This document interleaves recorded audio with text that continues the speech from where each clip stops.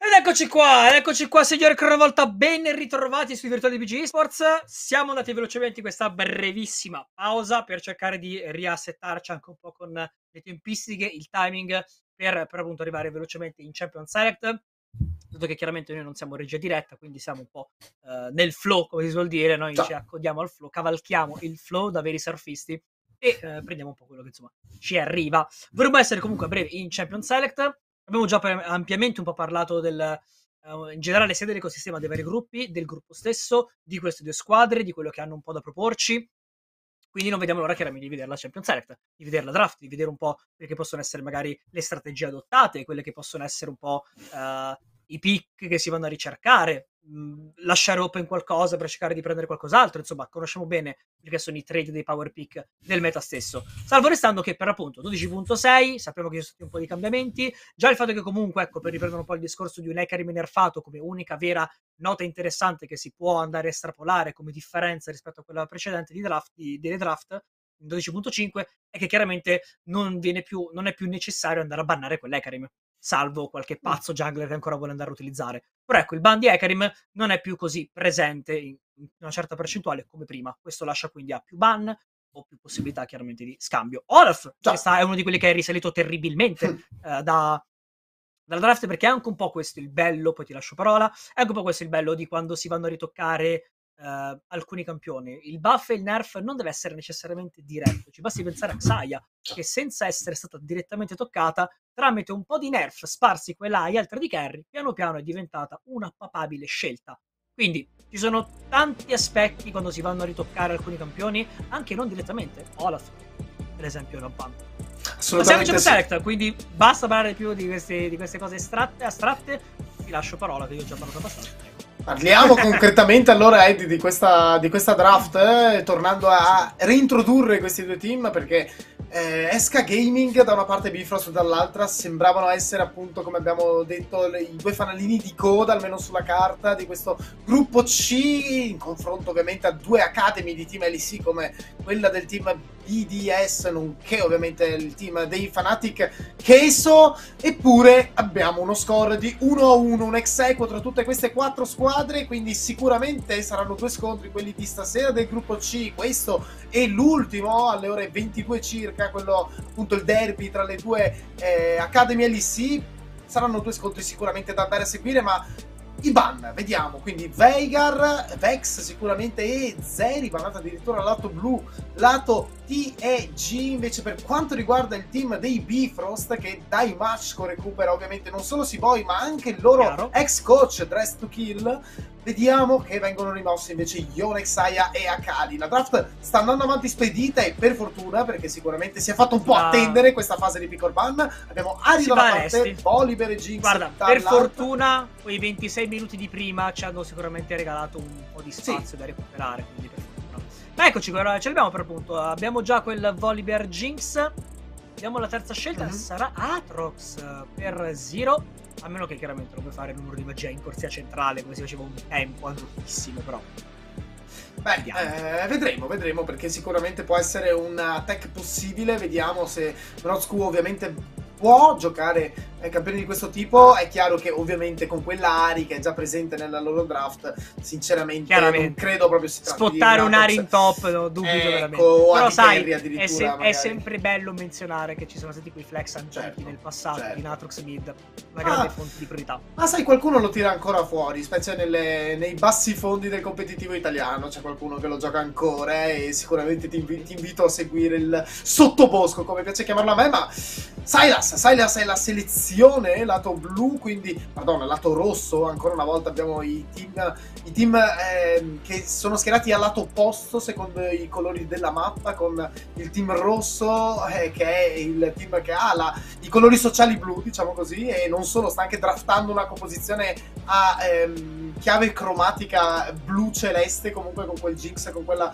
con quella Jinx, con quel Volibear, con quel Silas, ma i ban, andiamo a vederli perché abbiamo luce al rimosso, Aphelios rimosso, quindi grande priorità ovviamente verso la corsia inferiore, hai già selezionato Jinx, vuoi togliere quanti più counter pick possibili, lato Bifrost, invece per quanto riguarda i T-Edgy c'è quel top laner, sicuramente è quell'Atrox, quindi vuoi metterlo in una posizione comunque di comfort e vuoi anche togliere da un possibile comfort Jinx con quel trash che lo sappiamo può sopperire come nessun altro supporto alla mancanza di mobilità di altri campioni, scusate. Ma quella è una Poppy e sono entusiasta di andare a commentare questo campione perché non so se lo sapevi Eddie, ma è uno dei miei preferiti.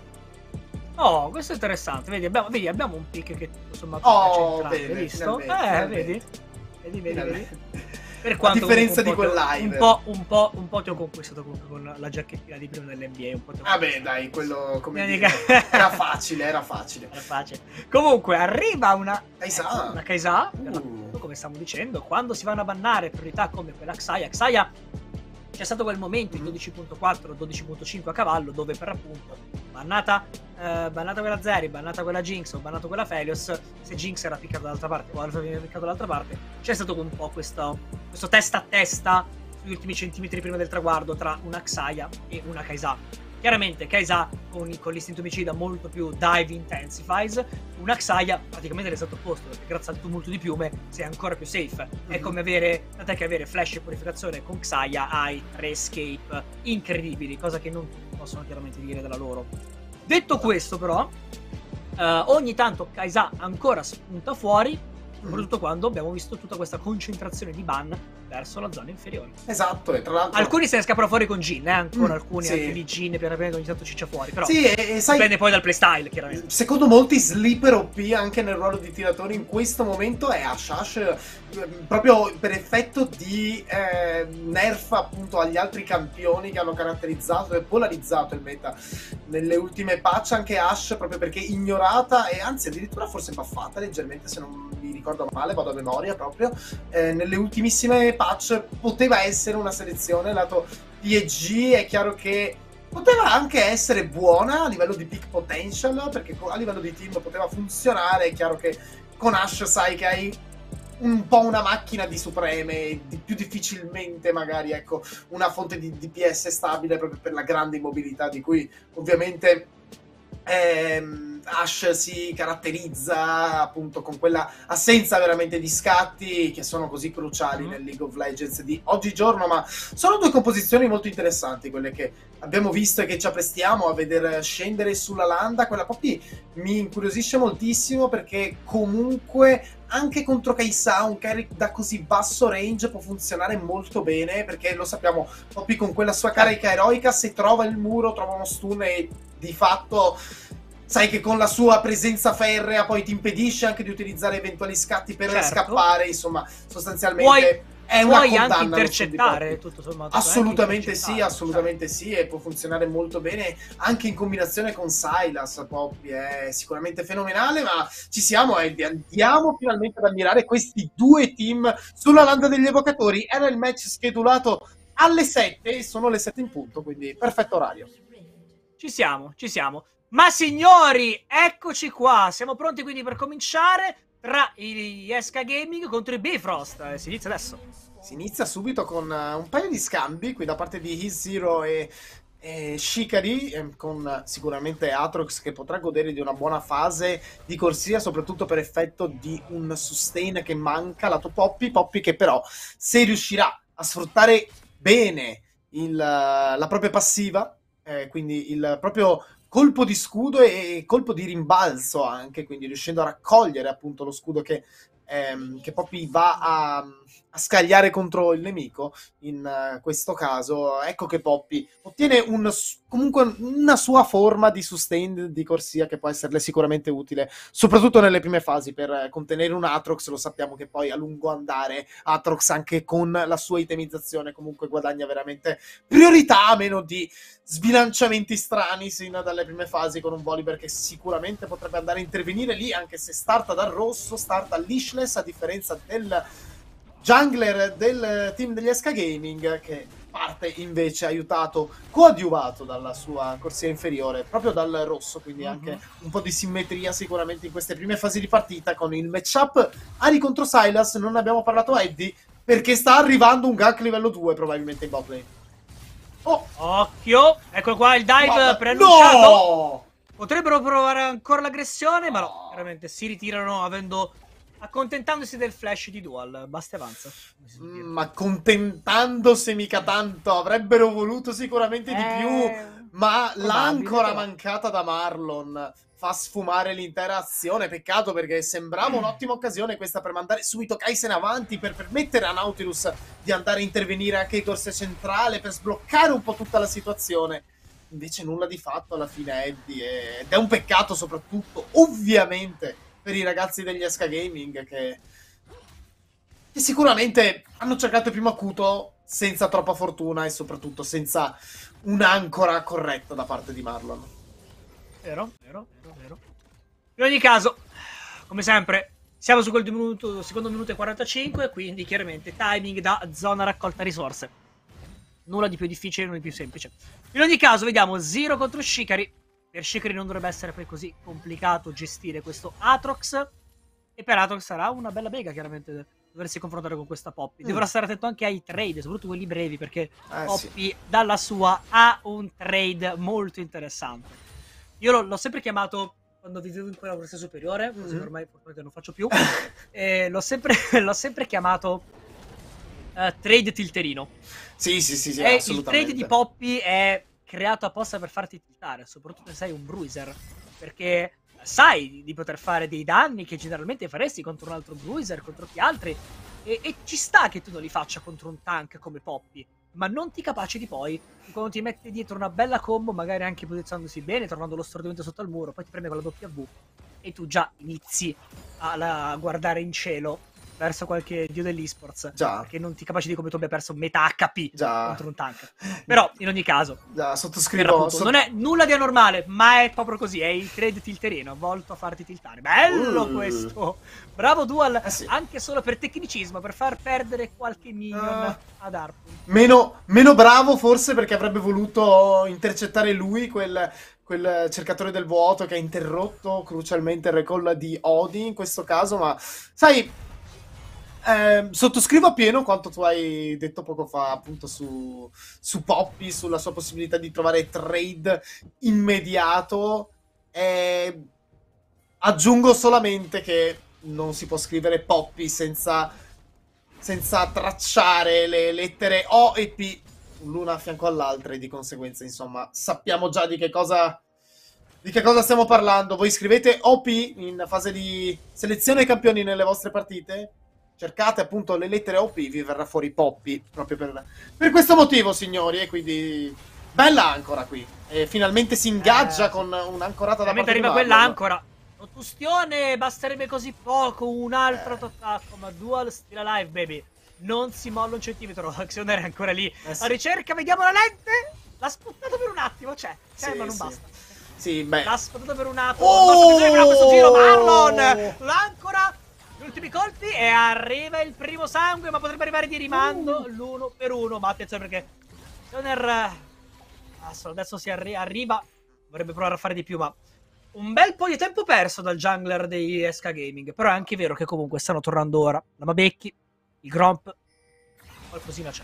Ah, è andato anche a prendere informazioni circa il posizionamento del nostro Seaboy e quindi sicuramente un'azione che qui va, mi sento di dire, a vantaggio probabilmente di Odi, che potrà trovare una fase di scaling più rapida e più repentina all'interno della partita. Eh, però è vero, Xeoner qui ha perso veramente tanto tempo, fu lui qui può farsi avanti, in avanti anche con la propria Suprema, bandola ad Ari e Mhm. tra l'altro la, la stessa Ari l'ha già usata, ma rivediamo qui l'azione con il minion che muore in quel momento, fantastico tempismo questa volta da parte di Marlon e, e nonostante appunto la spell di Renata, in questo caso quest'ultima non riesce a sopravvivere e quindi a eh, regalarsi nuova eh, esistenza in questa landa degli evocatori, dovrà tornare in fontana con schermo grigio, ma nel frattempo stato anche trovato il primo drago della partita, trovato dai Bifrost e è di noto compiacere che i problemi che avevamo nelle prime giornate con i Sì, draghi sì, no, si sono ormai- risolti. Sì, sì, ormai fortunatamente sono stati risolti i problemi. per fortuna. Già.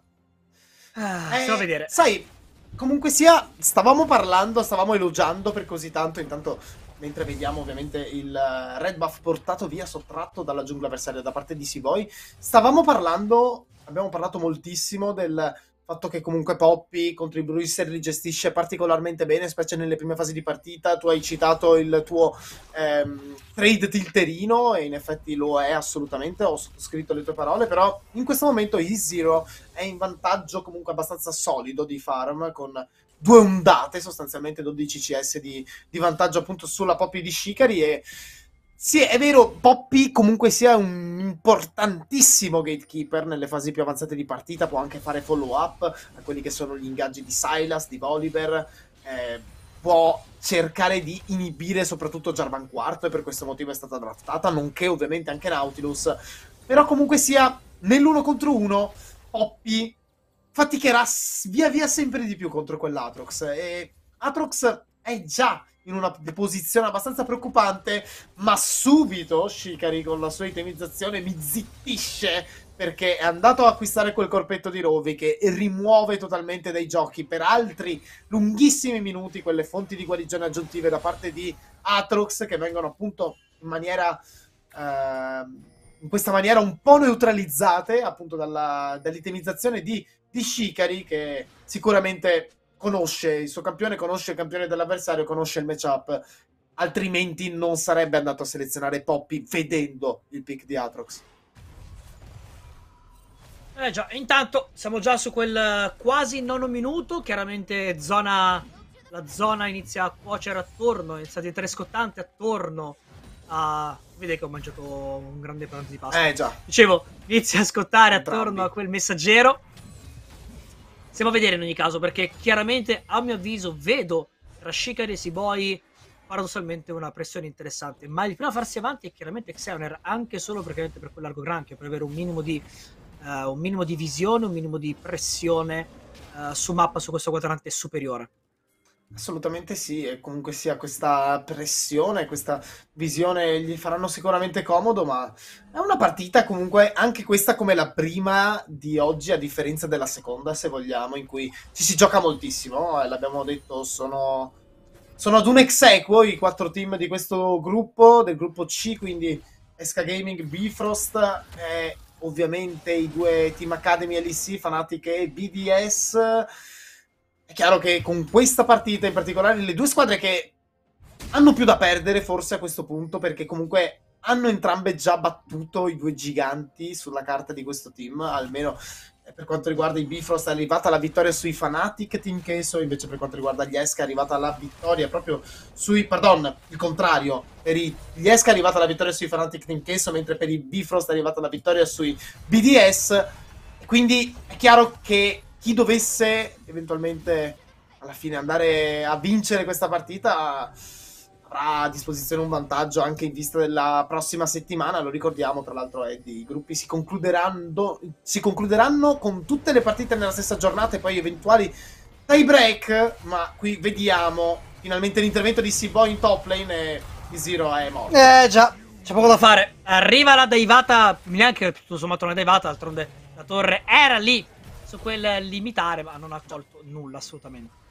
Eh sì, si espone un po' troppo qui Zero e subito Seaboy, puntuale e preciso con l'intervento in corsia superiore, lo fa secco, semplicemente utilizzate le supreme, sicuramente da un lato e dall'altro, anche i flash. Alla fine la kill la prende Shikari, forse avrebbero preferito su Volibear, però in realtà non ti cambia veramente la vita, sono due tank e tali restano, anzi probabilmente su Poppy ti fa anche comodo in vista del matchup diretto che deve giocarsi contro Atox.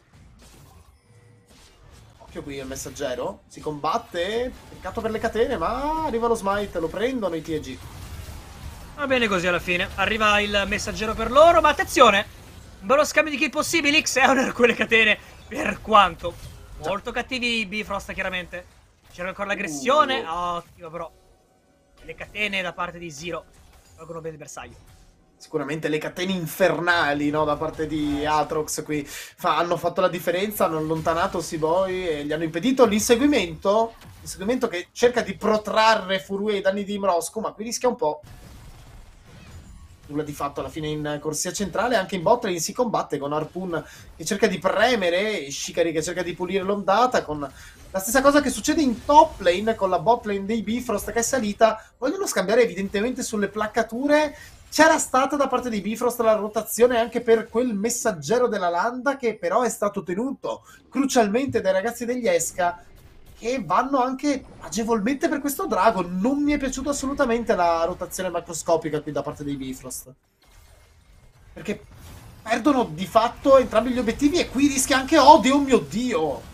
Oh, il rischio Disastro. e arriva! Arriva più che il rischio l'uccisione, grazie anche al distruttore dei mondi, si lancia avanti Zero, che poi chiaramente retrocede, chiaramente con un Seaboy anche full vita oh, e dietro una renata.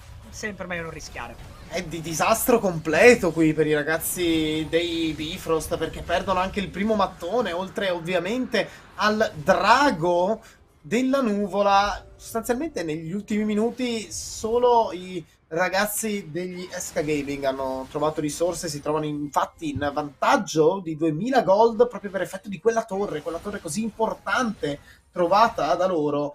È chiaro che pesano quelle 5 placcature già nelle tasche dei, del loro tiratore in particolare. Harpoon dovrebbe averle prese tutte e cinque, infatti la grafica puntuale va a evidenziare uno, una discrepanza di 1500 gold quasi addirittura in favore di Harpoon nei confronti di Odi.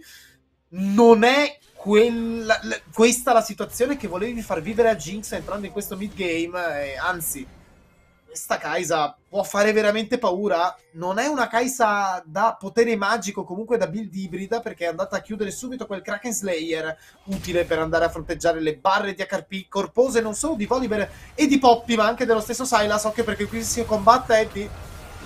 E come? Parte il teamfight, subito qui povero Meron tra incudine e martello, eh, può farvi poco, o di raccogliere l'uccisione. Questa è la cosa più importante chiaramente, un tanto di resettino, un po' di... Uh, un po' di Placcatura, anche se l'ultima eh, per poco è stata conquistata per veramente una manciata di secondi, ma in ogni caso arriva oh! il primo mattone, seppur non della partita, ma almeno per i Bifrost. Oh, qui pessima la comunicazione, credo, dei Bifrost che comunque trovano la kill. Occhio! Ottimo però il Moscu! proseguo, bellissimo qui Moscu!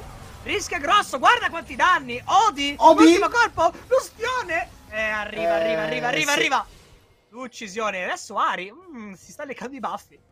Eh sì. Vediamo il proseguo. Exa Flash. Oh. A disposizione della catena. No, oh, a vuoto. Ancora. A vuoto quella catena. A vuoto quella catena. Ma potrebbe arrivare addirittura a casa. E infatti la vedi, ma molto bravo qui Frui.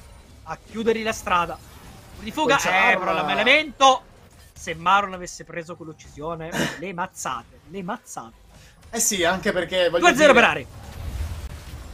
Zero Perari, rivediamo l'azione Eddie perché è stata anche qui abbastanza caotica. L'azione che si apre con una kill su Marlon e si chiude quasi con una kill presa da Marlon.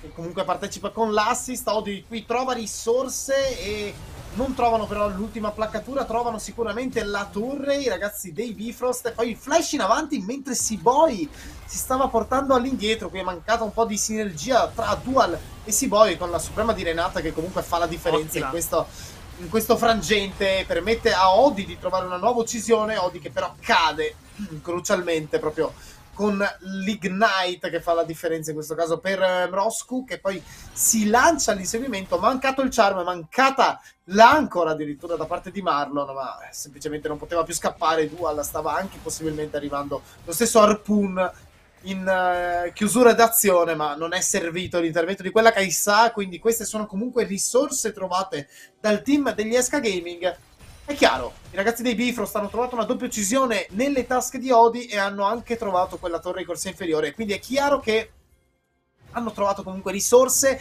e hanno di fatto sostanzialmente pareggiato la gold lead che avevano i ragazzi degli Esca Gaming qualche istante fa. Certo. Adesso però attenzione perché ci si avvicina al prossimo drago. Stiamo a vedere. Sì, e attenzione qui all'intervento da parte di Seaboy, chiuso tra l'incutine e il martello completamente in questo caso Xeunair. Subito facile per Reda del team dei Bifrost, bello l'intervento da parte di Shikeri che però rischia moltissimo alla fine in fin di vita sia lui che Marlon, ma nessun altro cade in questa fase. È chiaro che la caduta Eddie da parte di Eh, sì. Xeoner in questo caso ris- mette sicuramente ragazzi degli Esca in una pessima posizione in vista di questo drago. E poi però Occhio però qui! Parli della pesante posizione qua dual, però che rischio. Eh sì. Harpoon avrebbe voluto premere Uh. il grilletto, qua il flash, Odi, Mamma che mia. danni spaziali! Senz'altro Posso Eddie. procedere, questa è un'altra torre per i Bifrost. L'abbiamo detto, per quanto gli Esca Gaming nella loro prima vittoria ci abbiano incredibilmente sorpresi, ma attenzione ancora una volta, Moscu. Ha rivenuto dall'altra parte, Oh, oh. lui rubata quella suprema. Mm. Chiedo perché non abbia rubato quella di Xeoner, fosse in cooldown, non lo so. Oh, vabbè.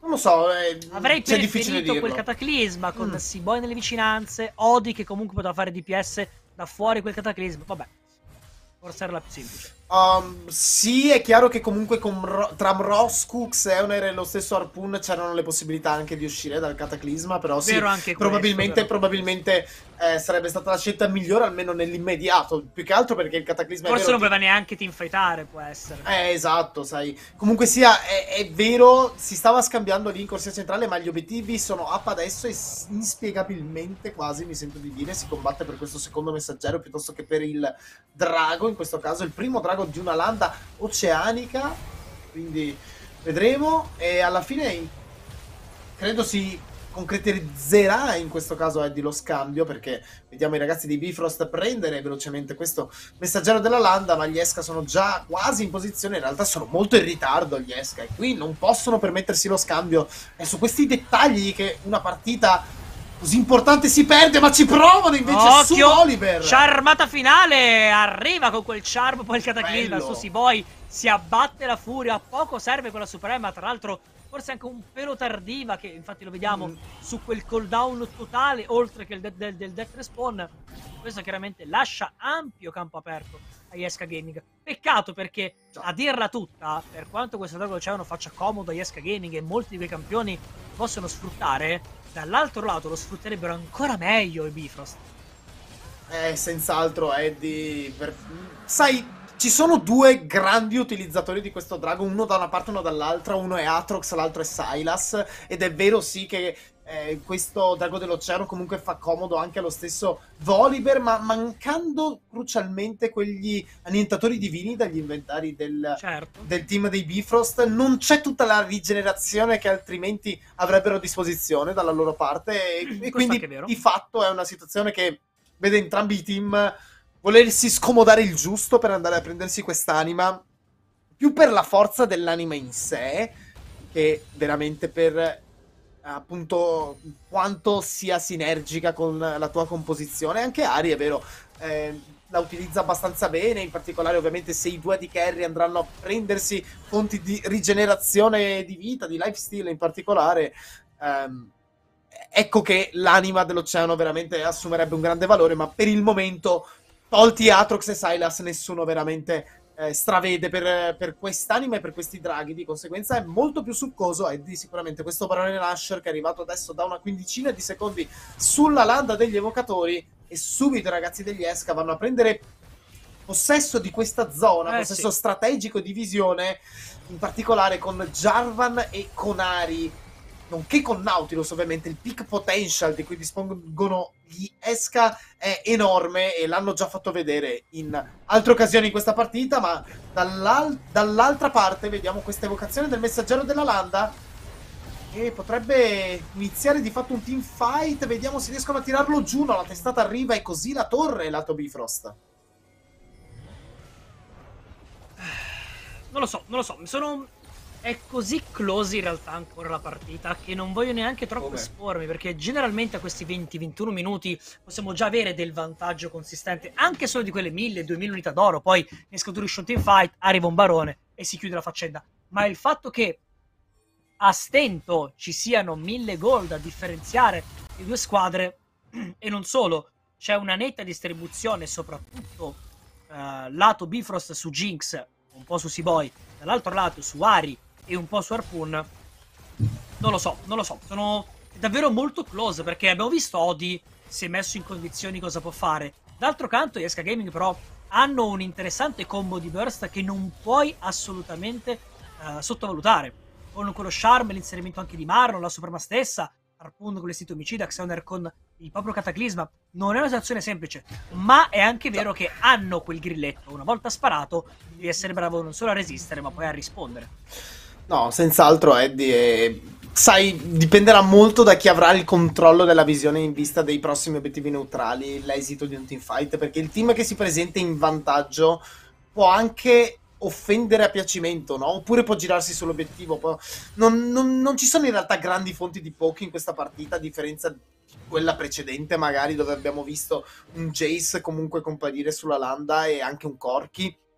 Questa volta sono veramente due composizioni che vogliono soprattutto teamfightare, vogliono trovare i reset da una parte e dall'altra di Ari e di Jinx, eh, e vogliono trovare quelle rigenerazioni con Atrox, con Silas la differenza forse è il fatto che gli Esca Gaming vogliono soprattutto ingaggiare e non possano veramente disingaggiare dagli avversari una volta premuto il grilletto. Invece i Bifrost con quei due tank, in particolare con Poppy, possono un po' dettare di più i ritmi dello scontro, almeno sulla carta, con quella presenza ferrea che può andare a negare sia un engage che un disengage eventualmente. E può essere veramente un, ottimo strumento anche contro quella Ari in late game con una giocata magari col flash da parte di Shikari che poi può bloccare addirittura uno scatto um, uno scatto appunto del, um, dell'assalto spirituale e bravo Furui qui a frapporsi tra ah, se stesso controllare eh, il tra, colpo, tra, esatto, tra il cercatore del vuoto e il blue buff per, per scudo evitare... protezione sì. esatto la sitela di quarzo viene protetta e poi però Adesso si combatte per il drago, è di 30 secondi e si poi rischia. Secondi. Ma... Ah no, tranquillo, tranquillo, tutto sommato la posizione di Zero funge anche un po' da inserimento, ma qua cercano di fare il colpo gombo, eh sì. mi piace, mi piace questa cosa da parte di Esca Gaming. D'altronde non c'è grossa visione e vuoi forzare la... il famoso balletto che fa il drago. Mm-mm. Faccio barone. Certo, però c'è il santuario di Giorgio ancora a disposizione dei ragazzi dei Bifrost in quel fiume topside e di conseguenza non possono insistere veramente sull'obiettivo dei ragazzi dei TG, però eh, ecco... Il problema veramente è che in questi teamfight credo che Odi possa avere un impatto enorme se ignorato dagli avversari e... Eccoli qua, infatti, vengono richiamati. Si va per il trade, Barone Forse. più Drago. I danni ci sono però, eh. Mm. Riconosciamo, ricordiamo, Harpoon i danni bastano avanzare. Sì. Infatti, qui addirittura arriva Furui.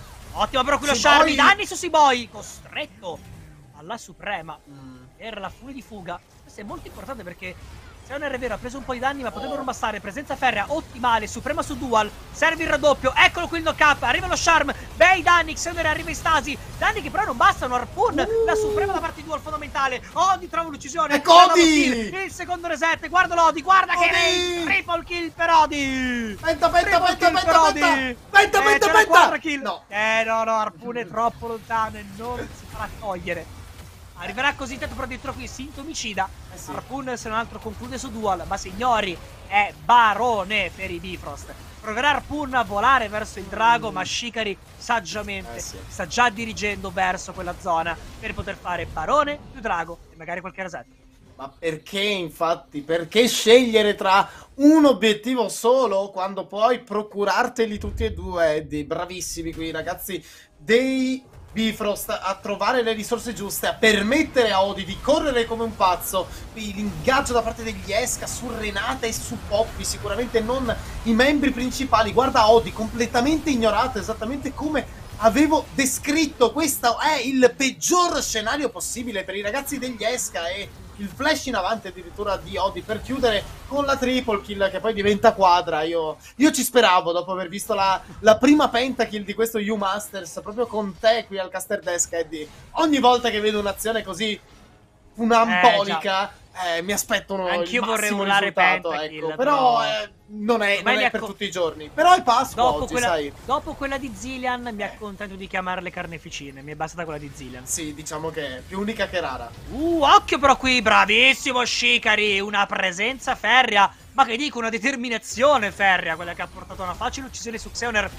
Complice anche chiaramente tutti i CC che lo stesso Xener si è preso in faccia, compresa la sopravvivenza di Shikari, e poi ha permesso a Odi di concludere facilmente un'altra uccisione. 7-2-3, Odi. Mamma mia, come eh, si vola con quel triplo sì. oggetto. Sì, Odi Ovviamente il, Mort, il Lord Dominic, i saluti Lord Dominic si fanno sentire ora più che mai. Sì. la poca coracità di alcuni membri come Harpoon e Moscow soprattutto. Sì, soprattutto è il frammento d'infinito che adesso fa la eh, differenza beh, perché quel moltiplicatore online e le torri del Nexus eh, del team Esca invece non lo sono più. Doppio carretto, difendibile, oh. ma neanche troppo. Devono chiaramente retrocedere, ma servando un'altra ondata. Oh. I colpi, ottima presenza ferrea. Odi un altro reset. Guardalo, full vita con gli scudi al sicuro Arpun vorrebbe fare qualcosa Xener si lancia dentro c'è la Stasi ma non ci sono i follow up per i danni ancora una volta Arpun ci prova arriva una doppia uccisione per Odi stesso ha il segmento si muove l'ultimo colpo arriva la Q finale più lei e adesso Zero unico redivivo e signori con quest'ultima uccisione di Odi con la triple kill la carne vicina e il punto per i Bifrost che superano Esca Gaming e che bella vittoria, che bella vittoria questa da parte dei Bifrost. Continuo ad applaudire proprio come fai tu eh, e non ci siamo messi bella d'accordo. Vittoria. Non ci siamo messi d'accordo. Bella vittoria e comunque Molto sia bravi. una vittoria non solo bella, anzi tanto bella quanto importante questa per i ragazzi di Bifrost, perché così si portano addirittura in testa la classifica del loro gruppo. Credo che sì.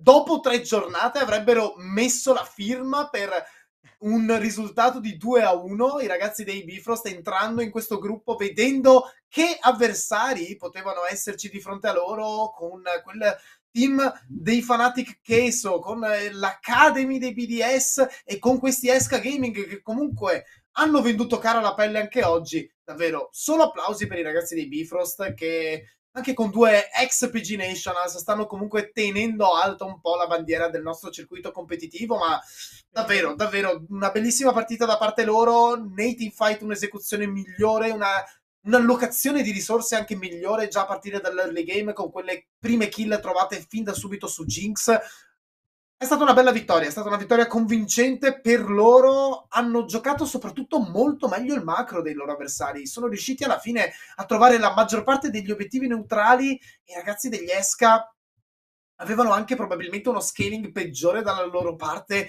perché quella Jinx non poteva essere pareggiata in nessun modo. In effetti, quando Jinx ha chiuso il terzo oggetto, abbiamo visto i danni che è riuscito a tirare giù Odi, non c'era veramente più partita nelle ultime fasi, lo scaling troppo dominante per la tiratrice protagonista anche di una serie che forse avete sentito nominare su Netflix, Arcane, se per caso ve la siete persa, cosa difficile se siete qui, però comunque magari qualcuno non l'ha vista, andate a recuperarla. Vediamo. In ogni caso, bella partita sicuramente dal punto di vista um, di un team come quello di Bifrost che ha avuto anche diversi problemi, tutto sommato, fin dall'inizio di questo, eh, di questo European Masters. Ricordiamo che erano dal play-in. E solo tanto che abbiano vinto, perché se un altro mi danno ancora un pochino più di agency, un pochino più di ragione su quello che ho detto prima ancora che iniziasse la partita, quindi mm-hmm. molto prima del risultato. Sono forse uno dei pochissimi team del play-in che overall sulla carta non sembrano essere così alla pari con gli altri, ma che stanno continuando a dimostrare che hanno veramente tanto carattere da vendere in campo e fuori. Detto questo, però, signori, come sempre, pausa e torneremo qui su PG Sport per il proseguo di European Masters.